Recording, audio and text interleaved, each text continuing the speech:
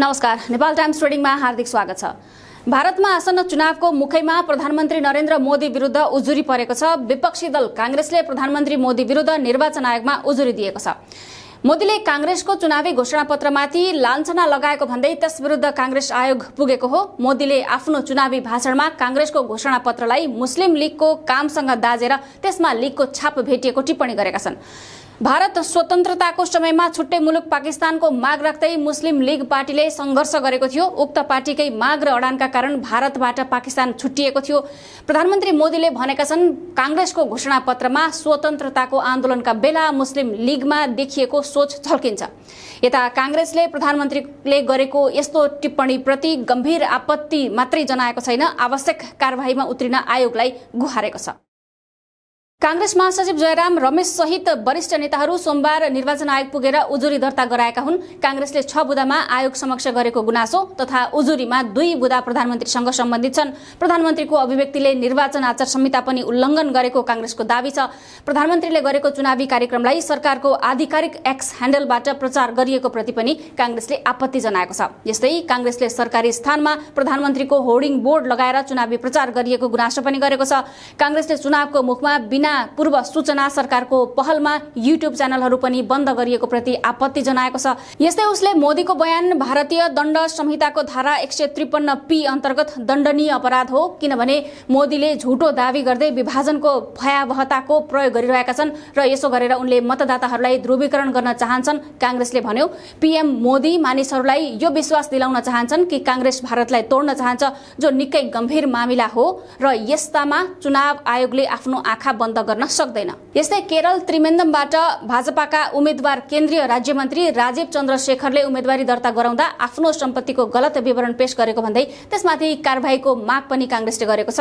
काङ्ग्रेसले चुनावमा सबै दललाई समान अवसर र मौका दिनुपर्ने आयोगसँग माग गरेको छ। आयोगले आफूले पाएको संवैधानिक स्वायत्तताको अधिकार प्रयोग गरेर देखाउनु पर्ने आशा गरिएको उसले भनेको छ। काङ्ग्रेसले गत साता ल्याएको चुनावी घोषणापत्रमा पच्चिसवटा ग्यारेन्टीको कुरा गरिएको छ। त्यसमा गरिब महिलालाई प्रति वर्ष एक लाख रुपियाँ प्रदान गर्ने कृषि उत्पादनको न्यूनतम मूल्य तोकिने सरकारी नोकरीमा महिलालाई पचास प्रतिशत ग्यारेन्टी प्रदान गरिने सेनाका लागि ल्याइएको अग्निवीर कार्यक्रम खारेज गरिने उल्लेख छ।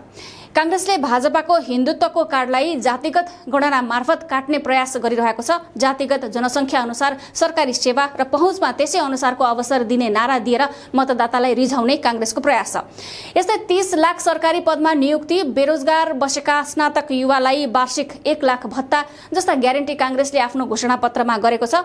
जातिगत जनसङ्ख्याको विषयलाई लिएर भाजपाले घुमाउरो पारामा देशलाई बाँड्न खोजेको भन्दै काङ्ग्रेसको घोषणापत्रको विरोध गरेको छ। भाजपाका पार्टी अध्यक्ष जेपी नड्डाले पनि काङ्ग्रेसको घोषणापत्रलाई मुस्लिम लीगको घोषणापत्रसँग तुलना गरेर अभिव्यक्ति दिएका छन्।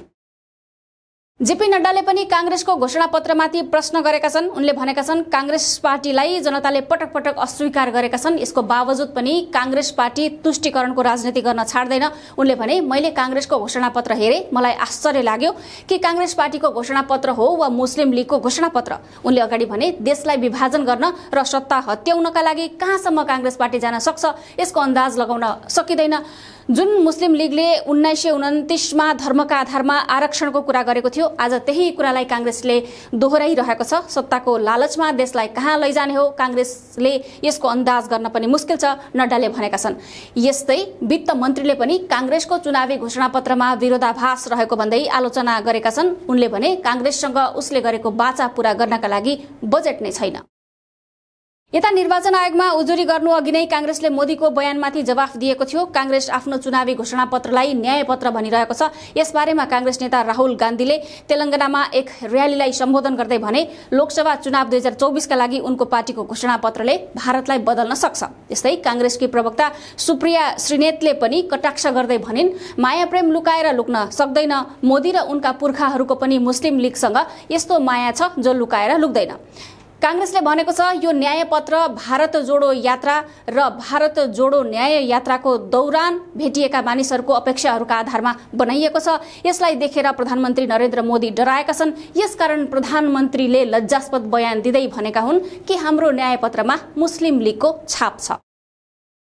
काङ्ग्रेसको यस्ता तर्क र आरोप अनि निर्वाचन आयोगमा परेको उजुरीका बावजुद यता फेरि पनि नरेन्द्र मोदीले आज पिलिभितमा चुनावी जनसभालाई सम्बोधन गर्दै विपक्षी गठबन्धनमाथि बेसरी वर्षिए उनले अयोध्यामा राम मन्दिर नबनोस् भन्नका लागि काङ्ग्रेसले लाख प्रयास गरेको पनि बताए। तर जब देशको जनताले पाइ पाइ दिएर त्यस्तो भव्य मन्दिर बनाइदिए र जब मन्दिरका पदाधिकारीहरूले उनीहरूको अर्थात् काङ्ग्रेसीहरूको सबै अपराधलाई माफ गरेर प्राण प्रतिष्ठामा आमन्त्रित गरे तर काङ्ग्रेसले सो आमन्त्रण लत्याएर भगवान रामको नै अपमान गरेको मोदीले आरोप लगाए। उनले अगाडि भने काङ्ग्रेसका जो नेताहरू प्राण प्रतिष्ठामा गए उनीहरू छ वर्षका लागि पार्टीबाट निकालिए। मोदीले भने काङ्ग्रेसले शक्तिको घोर अपमान गर्यो। लोकसभा चुनाव नजिकै गर्दा सत्तारूढ भाजपा र विपक्षी काङ्ग्रेस बीच चलिरहेको यस्ता जुहारी अनि यसको घानमा परेको मुस्लिम लीग मोदीले चुनावको आचार संहिता उल्लङ्घन गरेको काङ्ग्रेसको आरोपबारे तपाईँका टिप्पणी पनि अवश्य व्यक्त गर्नुहोला।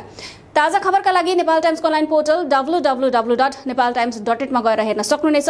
यसै गरी हाम्रो युट्युब च्यानल र फेसबुक पेज पनि अवश्य भिजिट गर्नुहोला। तपाईँले गर्नुभएको लाइक कमेन्ट सेयर र सब्सक्राइबका लागि धेरै धन्यवाद। नेपाल टाइम्स हेर्दै गर्नुहोला। नमस्कार।